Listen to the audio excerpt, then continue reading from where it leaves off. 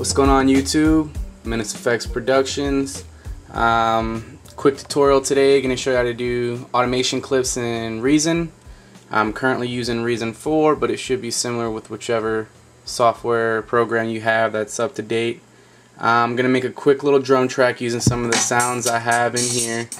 And then I'm going to show you how to create panning automation clips where volume control, different things like that. So I'll try to be as fast as I can about it and hopefully get you some good information. Alright, so I got my BPMs at 92. Let's go ahead and record something simple for the drums.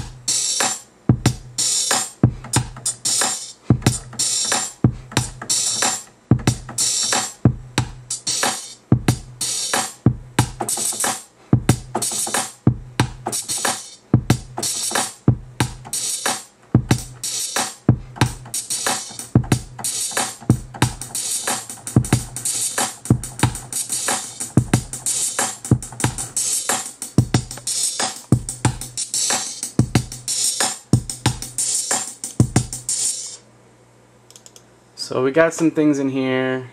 I know if you're paying attention on the timing, I think I might have been off on a few things. But I'm really just trying to get this in here real quick.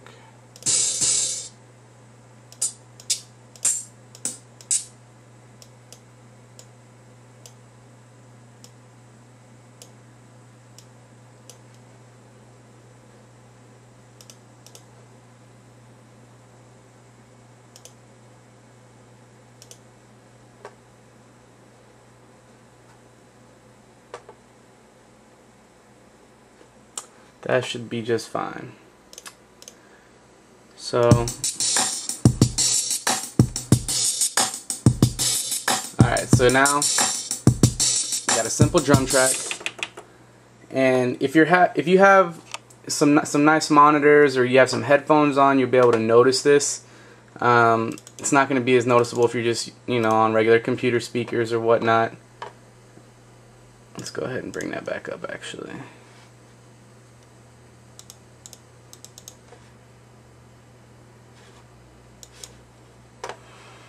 Okay, so now we have our different things that we want to do.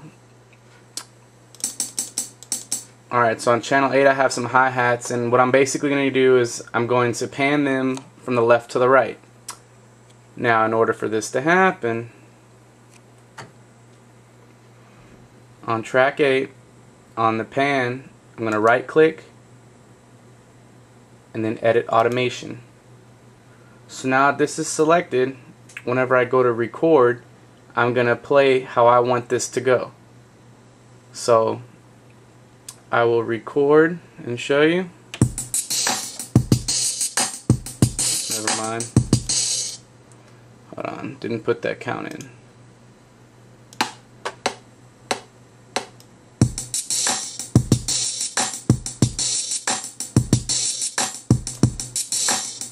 And now you see I'm on record. Sorry about that. Now my panning is moving up and down.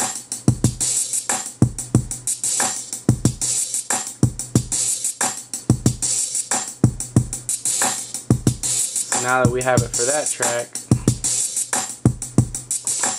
I'm going to also adjust the level, so the volume.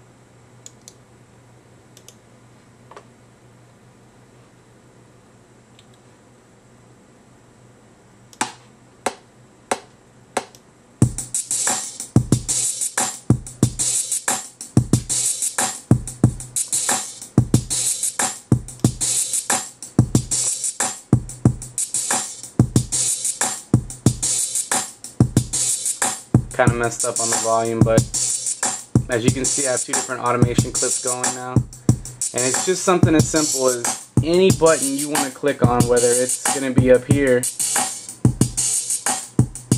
you can edit an automation clip. So if I just want this to quiet down,